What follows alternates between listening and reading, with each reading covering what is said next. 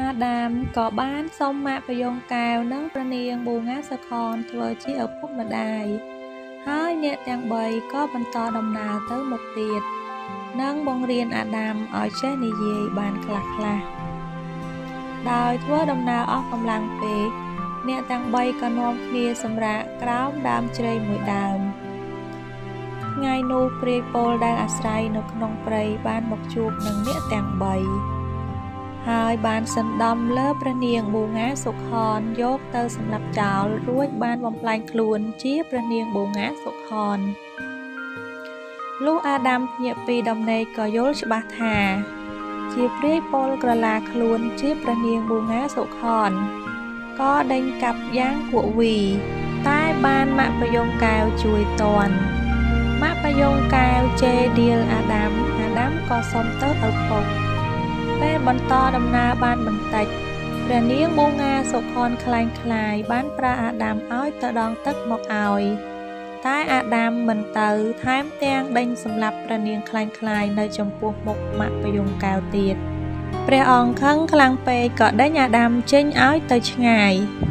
អាដាមក៏ដើរស្វែងរកម្ដាយក្នុងព្រៃប្រទះឃើញព្រះនាងបូងាសុខនដេកស្លាប់តើបប្រោះមេត្តាឲ្យមានជីវិតឡើងវិញ ប៉ុន្តែព្រះនាងប៊ូងាសុខន មិនបានទៅតាមរកម៉ាក់ពយងកៅទេ អាដាមបាននាំម្ដាយទៅបួសជាដូនជីនៅក្នុងព្រៃរីឯម៉ាក់ពយងកៅវិញបានមកសុំផ្ទះតាយាយស្នាក់នៅបណ្ដោះអាសន្នលុះយប់ឡើងនាងព្រាយបានចូលទៅកាច់កយាយស៊ីជាអាហារតាឃើញតន់ក៏ស្រែកឡើងភ្ញាក់ដល់ម៉ាក់បយងកែវ ព្រះអង្គដឹងការពិតថាមិនមែនជាព្រះនាងប៊ូងាសុខនព្រះអង្គក៏ចាក់សម្លាប់ព្រាយនោះ ហើយលាតាចេញដំណើរទៅរកមហេសីនៅឯក្នុងព្រៃនិយាយពីព្រះអង្គឆាយាវិញទ្រង់មានព្រះតីចង់បានមហេសីក៏ទូលព្រះបិតាឲ្យចូលស្ដីដណ្ដឹងព្រះនាងឆបកាដែលជាបុត្រីរបស់ស្ដេចឆបអឌិន ប៉ុន្តែត្រូវព្រះនាងឆបកាបដិសេធព្រោះព្រះអង្គជាជនជាតិក្លិង្គដែលជាជាតិសាសន៍ទុនទាបមិនសមនឹងឋានៈរបស់ព្រះនាងឡើយព្រះអង្គអាដាមសានិងបុត្របានលើកតបមកចូលវាយនគរស្ដេចឆបដិន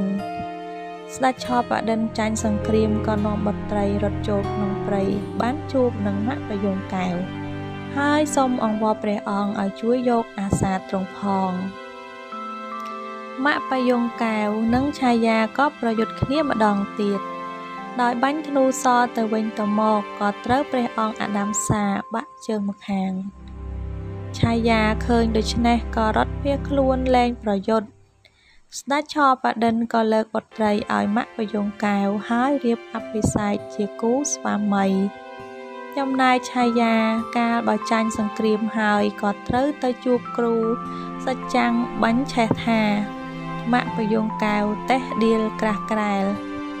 តាសច្ចាំងខឹងណាស់ក៏ខាបធ្នូខាបព្រះខ័ននិងខាបសិលសាសឲ្យឆាយាហើយប្រាប់ឆាយាឲ្យណាត់ម៉ាក់បយងកែវចេញច្បាំងគ្នាម្ដងទៀតម៉ាក់បយងកែវក៏ចាញ់ឆាយាដោយសារតាសច្ចាំងខាបយកវិជាសិល និងអាវុធទៅអស់ឆាយាបានចាប់ម៉ាក់បយងកែវយកទៅចងឆ្កាងជាប់នឹងដើមឈើក្នុងព្រៃបំណងឲ្យសត្វខ្លាមកហែកស៊ីខណៈនោះអាដាមកំពុងដើរបេះផ្លែឈើជូនមេដាបានជួបម៉ាក់ពយងកែវម៉ាក់ពយងកែវក៏សុំឲ្យអាដាមជួយ តែអាដាមទូលថា ទៅសួរមេដាសិន ព្រះនាងប៊ូងាសុខនប្រាប់អាដាមកុំឲ្យរំដោះព្រះអង្គតែដោយសារតែអាដាមមិនដាច់ចិត្តក៏បានជួយយកអាសាព្រះអង្គខណៈដែលមានខ្លាពីរក្បាលចង់មកហាយស៊ីព្រះអង្គអាដាមបានប្រយុទ្ធនឹងខ្លា ហើយសម្លាប់ខ្លានោះព្រមទាំងនាំព្រះអង្គមកជួបនឹងព្រះនាងប៊ូងាសុខន ក្រោយមកព្រះអង្គនាំមហេសីនិងអាដាមទៅសងសឹកជាមួយនឹងឆាយានៅឯក្នុងព្រៃសង្គ្រាមលើកនេះត្រូវបានអាដាមវាយសម្លាប់តបឆាយាស្លាប់អស់ជាង40000នាក់ឆាយាឃើញដូច្នេះក៏រត់វាខ្លួនទៅរកតាសច្ចាំងឲ្យជួយនិងពោលបញ្ឆេះឲ្យតាសច្ចាំងខឹងហើយធ្វើដំណើរស្វែងទៅជួបម៉ាក់បាយងកែវនៅក្នុងព្រៃ តាសច្ចាំងមានសិលសាស្ត្រខ្លាំងពូកែបានប្រើមន្តវិជ្ជាធ្វើឲ្យមានភ្លើងឆេះទាំងម៉ាក់ពយងកែវនិងបូងាសុខនស្លាប់បងជីវិត នៅសល់តែអាដាមបានរត់គេចទៅរកឥសីឲ្យជួយឥសីក៏សូត្រមន្តអាគមជួយប្រោះជីវិតម៉ាក់ពយងកែវនិងបូងាសុខនឲ្យមានជីវិតរស់ឡើងវិញហេតុតែកាន់ជើងសិស្សរៀងខ្លួនទៅសច្ចាំងនិងឥសីប្រយុទ្ធគ្នាដោយសិលសាស្ត្រ តាសច្ចាំងបានប្រើមន្តវិជ្ជាឲ្យមានភ្លើងឆេះព្រៃភ្នំតែឲ្យមានភ្លើងឆេះព្រៃភ្នំតែមិនឆេះអីសីឡើយអីសីក៏បានប្រើមន្តវិជ្ជាស្រូបខ្យល់ជុំវិញខ្លួនឆាយានិងសច្ចាំងបណ្ដាលឲ្យពួកគេគ្មានខ្យល់ដកដង្ហើមក៏ខ្សែជីវិតទាំងគ្រូទាំងសិស្សនៅទីនោះអីសីបានផ្ដាំទៅមកបយងកៅថា អាដាមរស់បានតែ3ដង និងស្លាប់បានតែ3ដងប៉ុណ្ណោះដូច្នេះចៅត្រូវលើកលែងរាល់កំហុសឆ្គងទាំងឡាយចំពោះគេផងម៉ាក់បយងកែវប៊ូងាសខននិងអាដាមបាននាំគ្នាទៅនគរស្ដេចឆោបដិន ហើយទូលប្រាប់ព្រះអង្គតាមដំណើររឿងតើបស្ដេចឆោបដិនឲ្យព្រះនាងប៊ូងាសុខនជាមហេសីទី1និងព្រះនាងឆោបកាជាមហេសីទី2 ហើយមហេសីទាំងពីរអង្គក៏ស្រឡាញ់គ្នាដូចជាបងប្អូនរយៈពេល10ខែម៉ាក់ពយងកែវក៏មានព្រះតីនឹករលឹកដល់ព្រះមេតាបិតានិងនគរទៅសុំមហេសីទាំងពីរប៉ុន្តែព្រះនាងប៊ូងាសុខន បានឲ្យអាដាមទៅជាមួយព្រះអង្គផ្ដាំជាសម្ងាត់ថា បើព្រះស្វាមីមានមហេសីថ្មី ចូលឯងផ្ញើសារមកឲ្យយើងកុំខាន លុះម៉ាក់ពយងកែវមកដល់នគរព្រះបិតាមេតាក៏អភិសេកឡើងគ្រងរាជក្រោយពីព្រះអង្គឡើងគ្រងរាជហើយស្រាប់តែឧបរាជទី1លើកកូនក្រមុំឈ្មោះនាងអ៊ូរីឲ្យព្រះអង្គធ្វើជាព្រះមហេសីបន្ទាប់មកឧបរាជទី2ក៏លើកកូនក្រមុំឈ្មោះនាងរាវីលើកឲ្យព្រះអង្គដែរប៉ុន្តែត្រូវខកចិត្តព្រោះឧបរាជទី1មកមុន ម៉ាក់បយងកែវក៏ទទួលយកនាងអ៊ូរីធ្វើមហេសី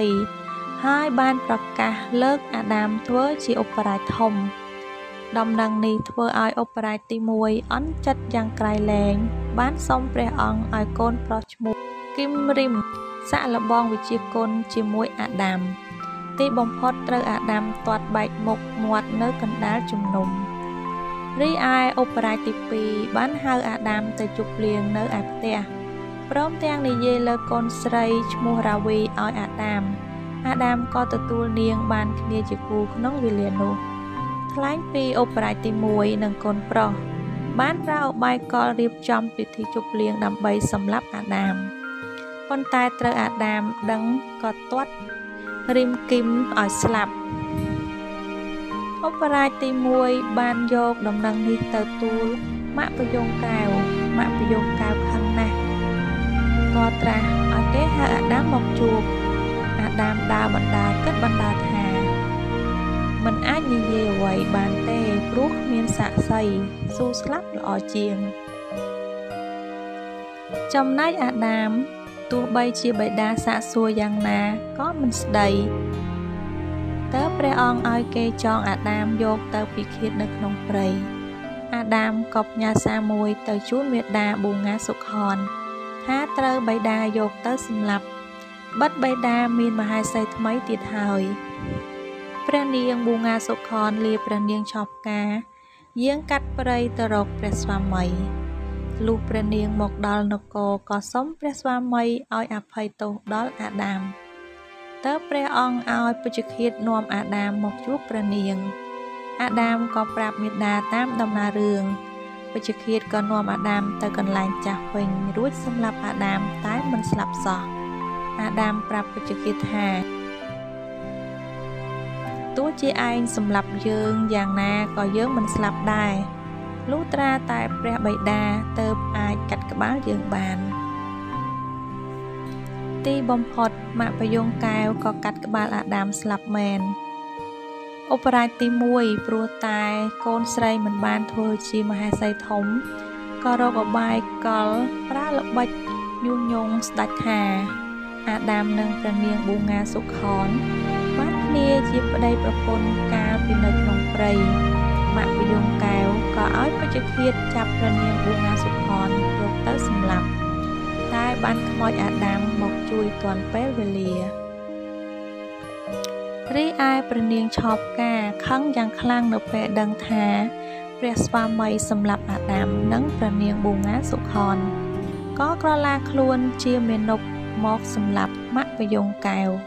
ប៉ុន្តែត្រូវឧបរាជទី1ចាប់មេនុបនោះបាន រួចយកទៅប្រហារជីវិត តែបានខ្មោចអាដាមមករំដោះតន់ហើយសម្លាប់ឧបរាជទី1វិញ